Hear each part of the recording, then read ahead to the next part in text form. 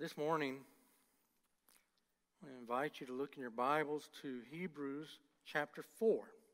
Hebrews chapter 4. And you know, it seems like something we're all familiar with these days are masks. Anywhere you go, you might see any variety of masks. You might see a mask that looks something like this, or you may see one that looks something like this. You may even see a nice homemade mask that someone has put together that looks like this, or for the fashion conscious, you have both sides. You can switch back and forth. So we see a lot of masks. Um, we're all familiar with masks. I saw this week where um, Johnny Weaver had died. Y'all remember Johnny Weaver? Saturday mornings, you know, wrestling, or we say down here, wrestling. Johnny Weaver wore a mask and became the, I can't remember what his, what his name was when he wore his mask, but he, he was no longer Johnny Weaver. He was Mr. Wrestling 2. That's what it was. Mr. Wrestling 2. Not the first one, but the second one. So he, he changed his identity just by putting on a mask. We, we know that some uh, sports athletes wear masks for a different reason. We know that at, um, at Halloween, children wear masks for a different reason. And when, you know, nowadays you can walk into a bank wearing a mask, but prior to the coronavirus, if you walked into a bank wearing a mask, you know, they, they didn't look too kindly upon you. So, masks are something we've all become familiar with. Not always comfortable, but for some people, they're more comfortable wearing a mask than not. Here's what I'm getting at. I just consider true or false.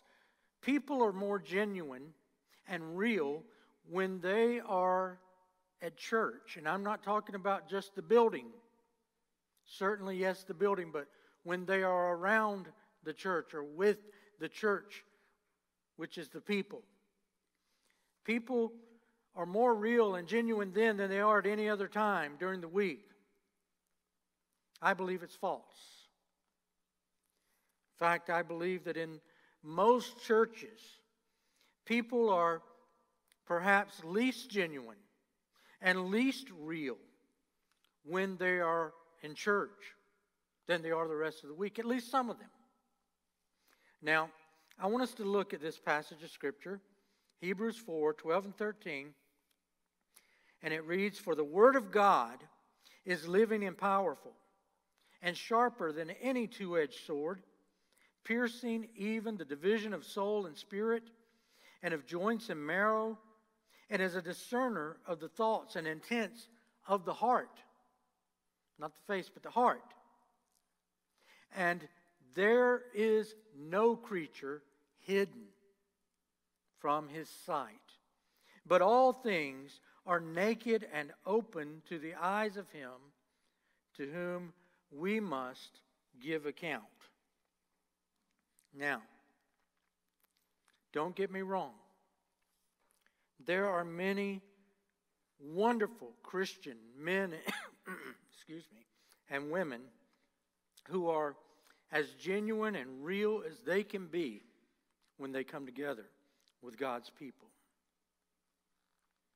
But you and I have all seen people who put on a mask, who put on a face when they're gathered with God's people. Something they don't wear the rest of the week.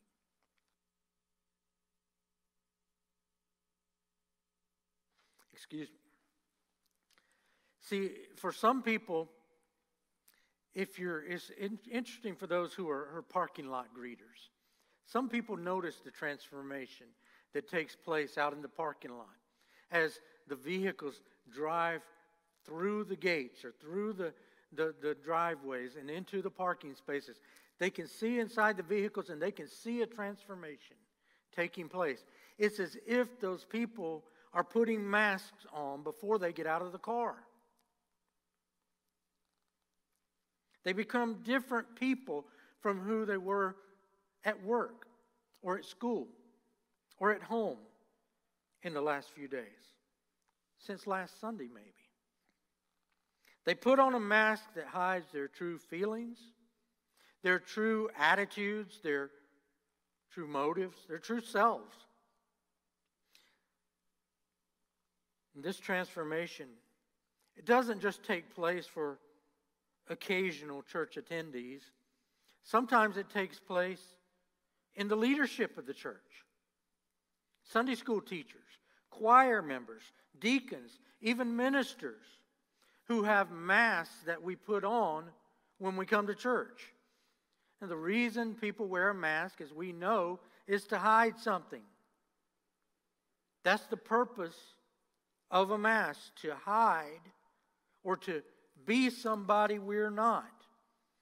Another purpose of masks, as we have learned so well lately, is to protect ourselves and others.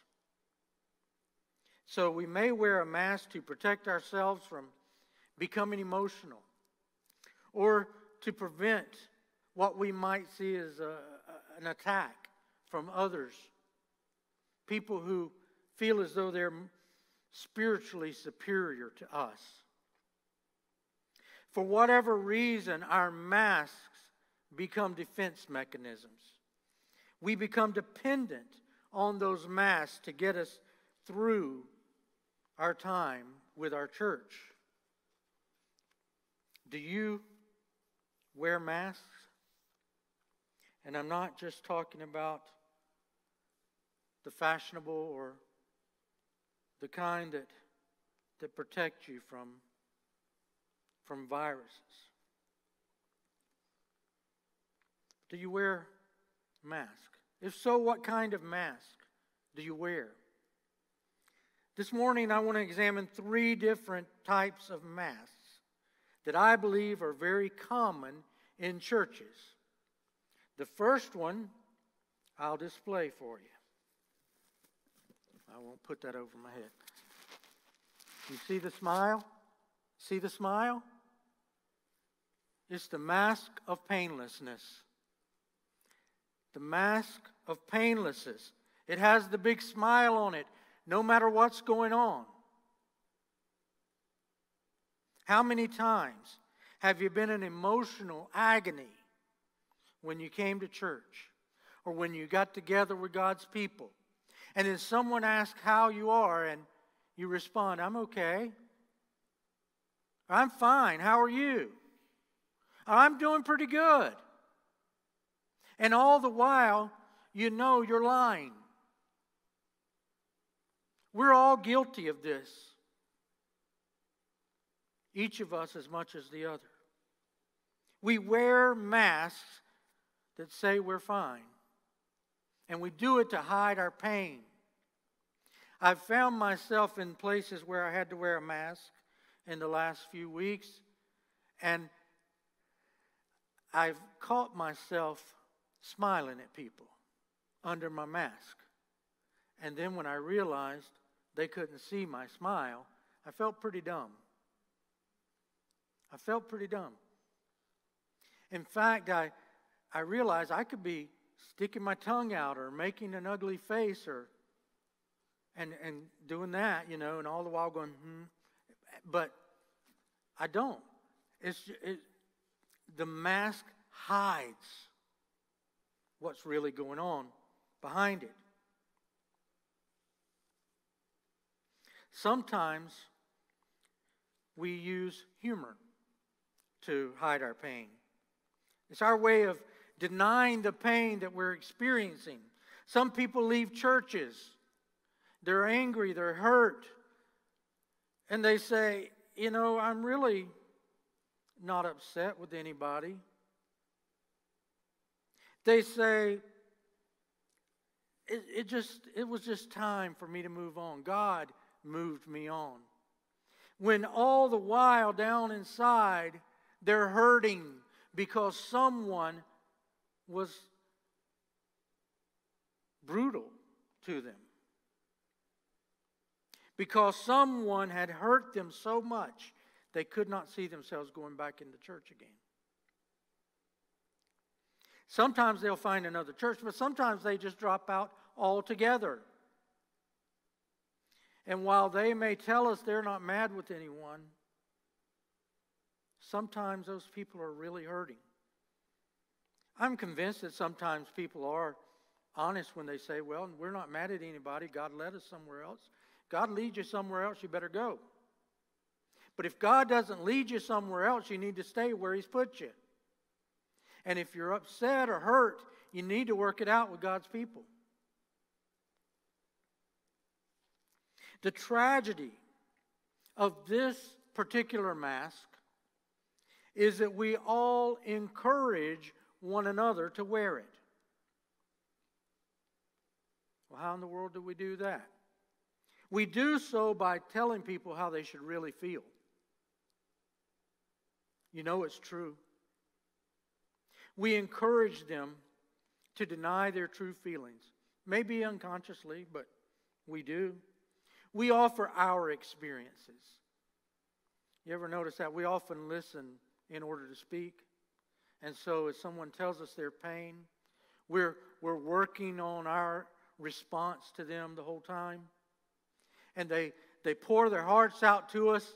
And as soon as we get a break, we jump in there. Well, let me tell you, here's what I went through. It was a lot worse than what you went through, and I got through it. So you can get through this. In other words, we don't hear them, we discount what they're saying, and we tell them how they should feel.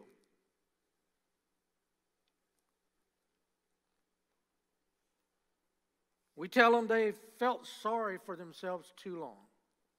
It's time to move on, move forward with your life. Or think about children. A child is crying. What do most people say as the first response? Don't cry. Don't cry. Everything's going to be all right. Why do we do that? Why aren't we instead taking them by the hand and crying with them and letting them know that their feelings matter? Jesus cried. So, what would he do? Jesus is the most compassionate man who ever walked the face of the earth. You better believe he cried. We read in the Bible that he cried. Why do we try to discourage people from, from expressing their true emotions? I believe it's because we become vulnerable as other people express their true emotions. We're afraid that if we let others express their true selves, we may open up our true selves and and then get too close and risk being hurt again. So we wear the mask, the mask of painlessness. This is the mask that says, I can handle any situation with a smile on my face. This is the mask that says, I don't hurt. See, I'm smiling. I'm too spiritual to allow someone to hurt my feelings. Well, I have news for you. The church is not a show place for perfect people, but it's an, a hospital for hurting people. The truth is, we all have hurts. Many times they're very deep hurts. And this is the mask that we wear in order to hide those hurts. It's the greatest temptation in the world to put that mask of painlessness on.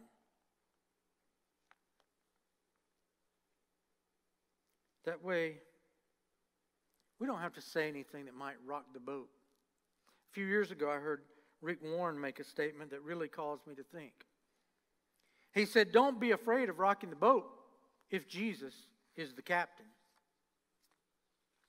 Don't be afraid of rocking the boat if Jesus is the captain. So, the first mask we need to throw away is the mask of painlessness. Just throw it away. Get rid of it. It causes us to face our hurts, it causes us to share our burdens, to depend on our brothers and sisters in Christ. Isn't that what we're supposed to be doing anyway? There's another mask I want to talk about. And I couldn't think of a better mask than just a solid black mask. It's called the mask of strength. The mask of strength. This is a strong mask. It's, it, it, it's so strong it doesn't need any wording on it. Well, you know, you, we've seen a lot of cute masks that people have made. A, a, a friend got married recently. Uh, they went on their honeymoon and they had bride and groom masks. Said the first place they went in to eat, the people thought it was so cute they bought their lunch. So, you know, but but that doesn't say that you know that's that's not if that were pink, it wouldn't be as strong, but it's black. That's a strong color. And it's got these filters inside. So, you know, we know they're strong. They've got the filters to filter out any anything bad. And you know, they apparently they work. Um, this one research scientist this past week published a study where she had coughed. She was not sick with anything, but she coughed. Just a normal cough into a petri dish. She, she did it once without a mask and once with a mask. And the results were, were amazing. The, the, the petri dish that had that she coughed into with no mask just had all kinds of bacteria growing and just looked like, you know, something really creepy. And then the other dish where she was wearing the mask was just clean and looked really nice, looked healthy. So apparently, the mask, the filters, they work, they help.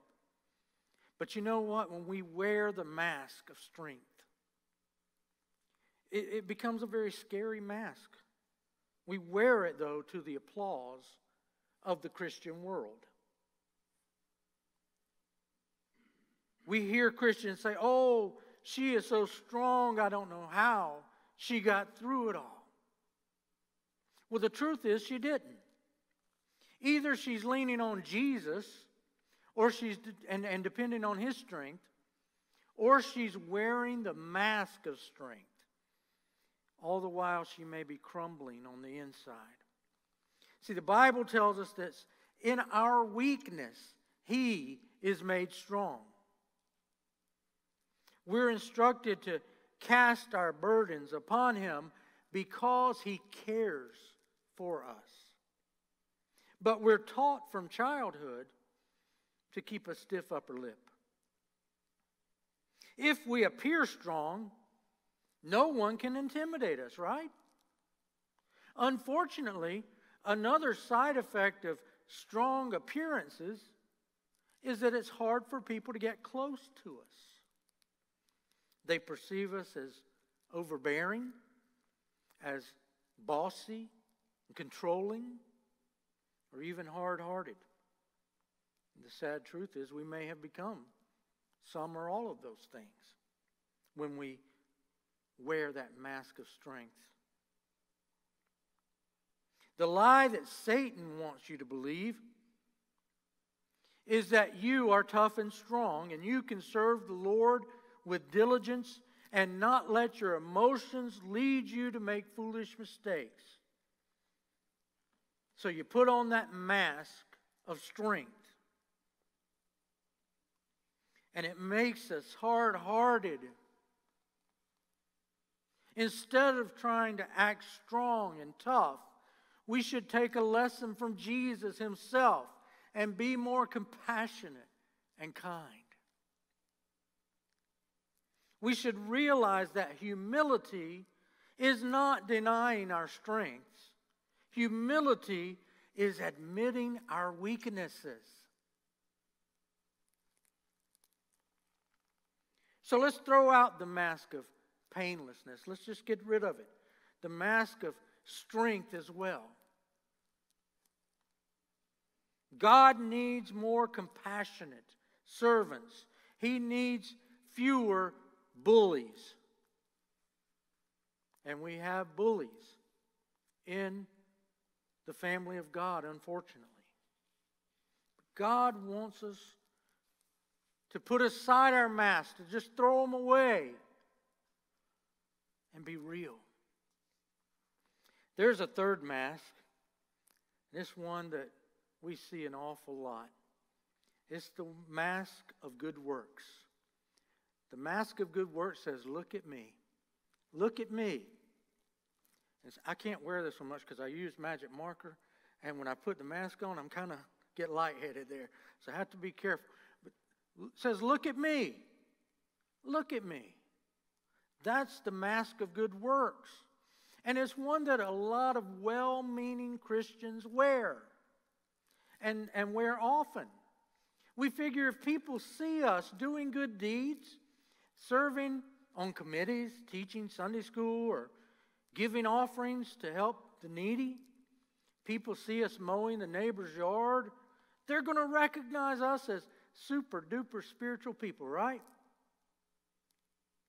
The only problem with that is that when our motives are out of whack, we're laboring in vain. We can only please God, Rick Warren said in that same message I mentioned earlier. We can only please God when we decide to live our lives for an audience of one.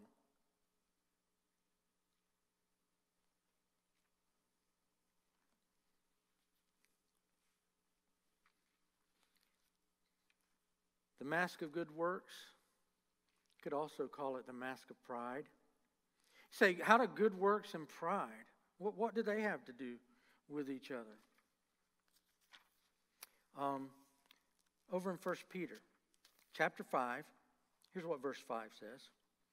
Likewise, you younger people, submit yourselves to your elders.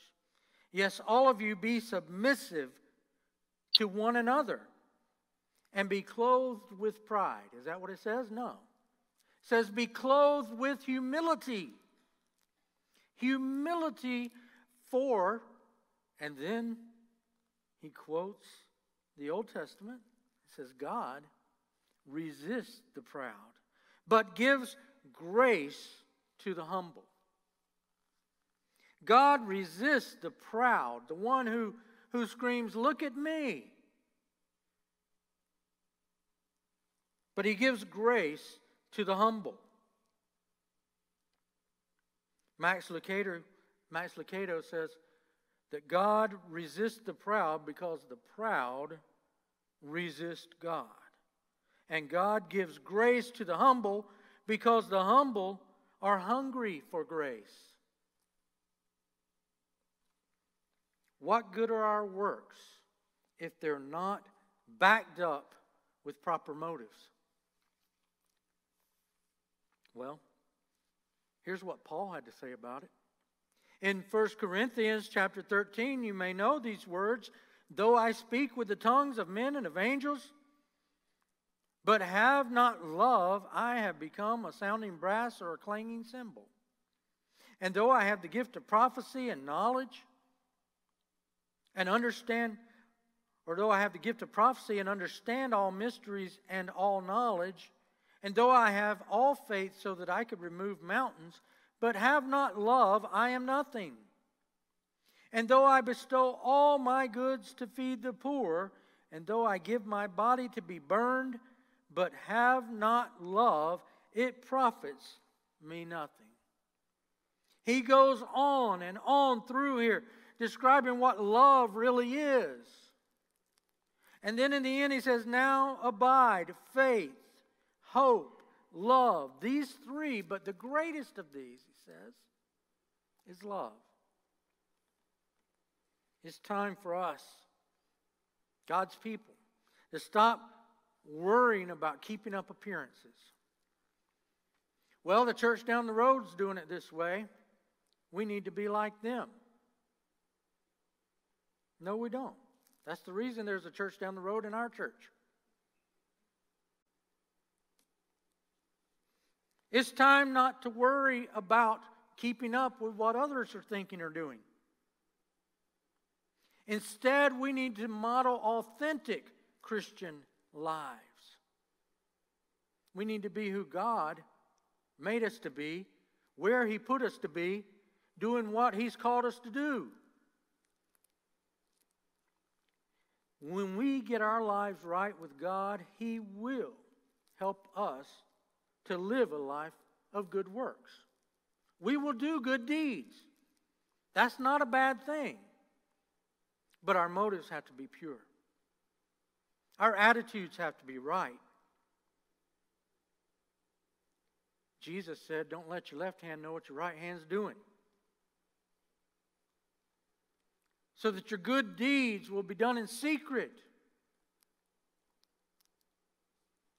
And he says, What'll happen then? People will still see what you're doing, but they'll give glory to God in heaven, not to us. So we don't do what we do to draw attention to ourselves, but to point people to Jesus.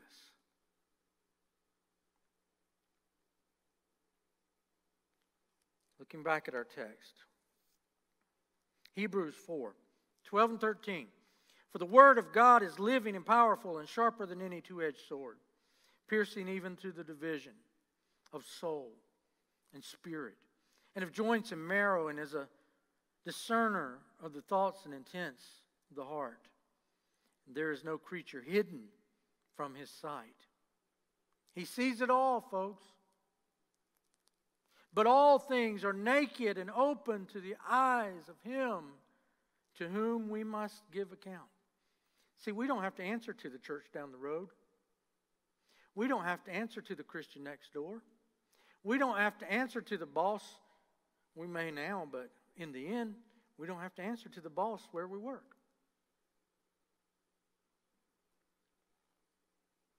God knows our true motives. He's the one we have to answer to. He sees the good and the bad in our lives. He knows when we're hurting. He knows when we're weak. He knows when we're sincere and when we're putting on a show. So, what kind of mask do you wear, Christian?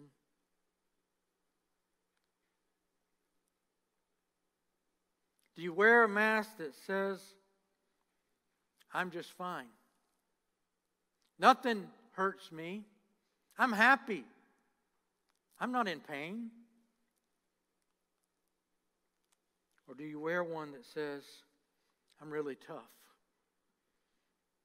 Nothing can hurt me. I'm tough. I'm strong. Or do you wear the one that says, Look at me. I'm doing all these good things. Look at me. I'm, I'm a super Christian. Are you the same person when you're in church or with God's people that you are the rest of the week? I remember a number of years ago, um, was before the days of social media. Social media back then was email, if that tells you how long ago it was. Um, email, for those of you who are younger, is something that's kind of like writing a letter and then sending it through the computer. Um, not many people prefer email today, and I, I get that. But I remember a friend from college found me on the internet, found my email address somehow, sent me an email. I had lost touch with this friend for a number of years.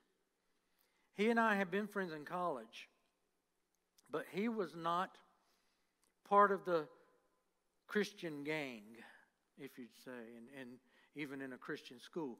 He was kind of the guy who, when, when everybody got together to, to worship or to sing praises, he, he just kind of went off to the side by himself because he didn't, he didn't have any, any need for that kind of stuff. He didn't have any use for it. He didn't pretend to be a Christian either, so, you know, at least he had that going for him. He was authentic. But when he found me and sent me the email, we, we got to chatting back and forth, and he said, um, Do you know Preacher so and so? And I said, You know, I've heard that name. I haven't been in that town in a long time, but I've heard the name at that church. He said, That's my pastor. And I thought, hmm, you know, maybe he's met him a woman that's taking care of getting him, you know, before the Lord and has been on her knees and praying for him. And and he said, just out of the blue after that, he said, Bet you never thought I'd been in church. And I thought, You're right. You're right. I never thought you'd be in church. I remember this friend, he actually came home with me uh, one. I, I was working as a part time youth minister at my home church, and I would come home on Wednesday nights or Wednesday afternoons and do a Wednesday night program with the youth before going back late Wednesday night. And one week, I talked him into coming with me. But when it came time, he, he ate dinner with me and at my mom's, and she fixed a nice dinner. We ate. And then when it came time to go to church, he said, I think I'll stay here and watch TV. And we could not get him to go to church that night. He stayed at my mom's and watched TV. That was his thing. He was not going to church. His, nothing about his lifestyle would have led me to believe that he was a Christian. But now even he realized how, how astonishing that would be to people who knew him then. He said, I bet you would never thought I'd be in church. And you know, I was surprised that he was in church.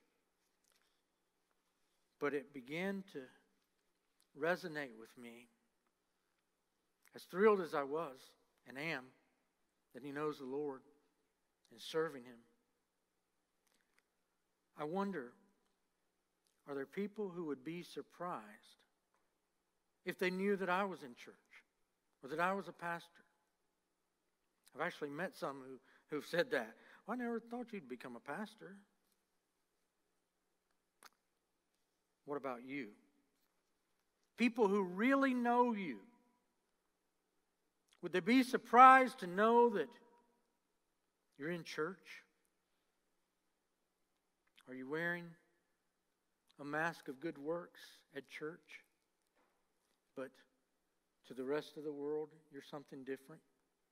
It's time to throw out the mask of good works. Just get rid of it along with the mask of pain, painlessness, along with the mask of strength. So instead of the mask of strength, put on the mask of compassion. Guess what? You don't even have to wear a mask when you have compassion.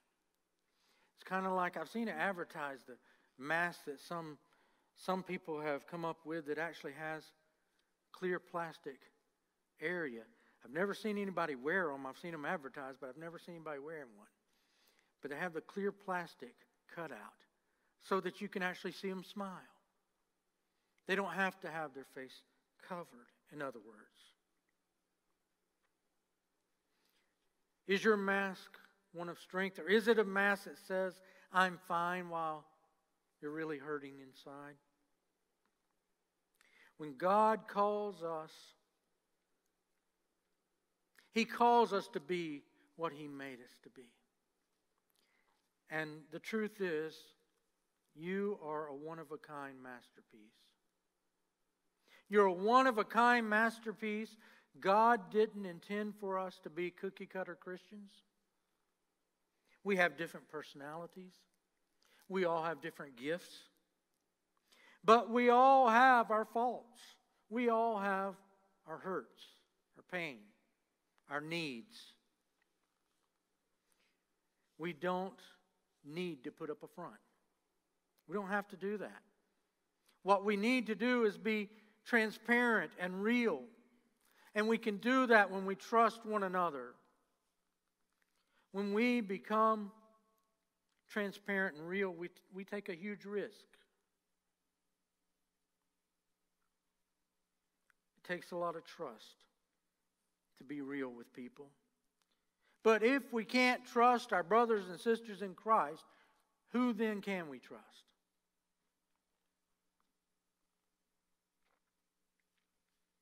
More importantly, it's a waste of effort to, to wear masks because the one who really matters knows our true motives.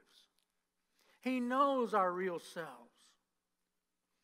So the government may tell you you need to wear a mask.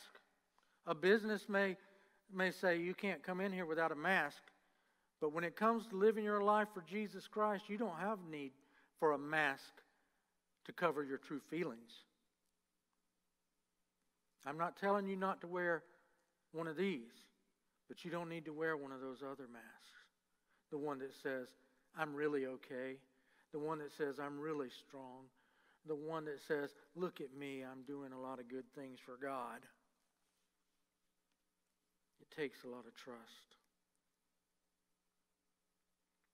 Only when we take the risk of being our true selves can we have a chance of growing closer in love and in fellowship as a church than we've ever done before. That's what it calls us to grow in Christian maturity, to grow as a church. Is the you that people see on Sunday when we're gathered together the same you that people see at work, at school, at home? I hope so. Let's commit to being more authentic. Let's commit to being more transparent. It might just cause us to experience revival. Revival would certainly be a good thing right now. I'm going to ask you right where you are just to bow your head and allow God to speak to you. Father, it's always tempting to put on a mask when we're hurting, when we're feeling disappointed, when we're feeling all alone. It's so tempting to hide our true feelings or to say, you know, it's just not worth the risk of being authentic the risk that we might be hurt. But Lord, we realize the only way we can we can really grow to know and love one another is by being real. We realize that you have been real with us. Help us, Lord, to put aside those masks that we wear and instead to, to lean upon you when we do hurt or when we when we do cry. Father we pray that you would help us to grow in our, our faith and our trust for you and for each other and we pray, Lord, for those who, who maybe don't even have a relationship with you, who are wondering, what can I do so that I can be authentic and real? Have your way as we commit to you. In Jesus' name we pray. Amen.